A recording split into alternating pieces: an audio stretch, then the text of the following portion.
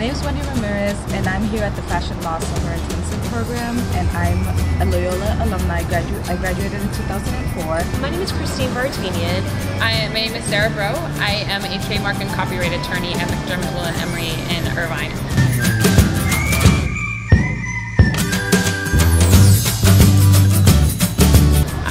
I am attending the program because I'm really interested in expanding my practice and further building, you know, a client foundation in the area of you know, uh, fashion apparel, manu- apparel manufacturers, and so um, it's an area that I, practice in now, and it's really inspiring and interesting to me. So I like to stay on top of it, and it became kind of get those tools from the program. And I thought, what what a wonderful place for me to come and explore that the fashion industry because I did start my styling company two years ago, and I have and I'm a lawyer. Um, I, although I'm not lawyering currently, I'm having the law degree, the law background, and the fashion um, uh, company that I now um, really give me a different perspective on how to serve my clients better and just add to my.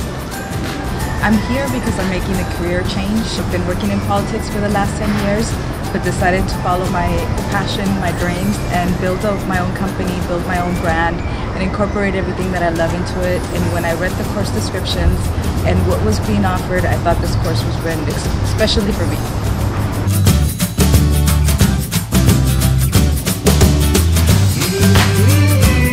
So far, the most beneficial thing to me has been just learning, having an overview of the fashion industry here in Los Angeles and knowing the importance that it plays here. There have been specific topics which are also beneficial. I mean, I think the questions of what are you doing, if, you know, what can you do as an entrepreneur, starting your own company, what are your basic needs? At, to start up, it's ideal. I mean, it's exactly what I need at this point in time for what I'm trying to start. Well, for me, so having the experience, at least in the soft IP areas already, the most important part of what we've discussed already today is the actual fashion industry itself, the, the structure of the industry, sort of the background, and a little bit of history and trajectory and where it's going in the future. And I think that's information that I don't find myself exposed to every day.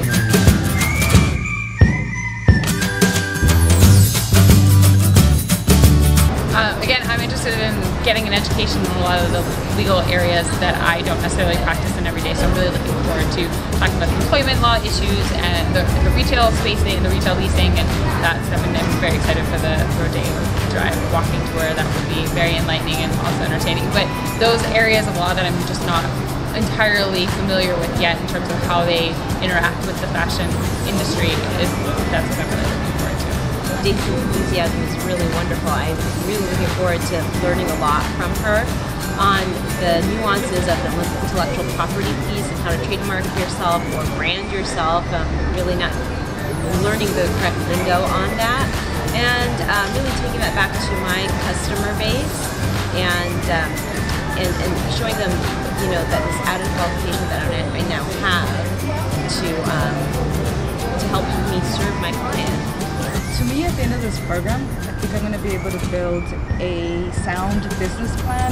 Not only what steps i need to do next to create my business and to grow my business but also having made those friendships partnerships networking with the people in the class that are going to help me achieve my goals. Um, well i think that definitely i want to see the how the where the fashion law industry fits in in the legal system. And I'm looking forward to the rest of the program, and I think I'm really going to benefit.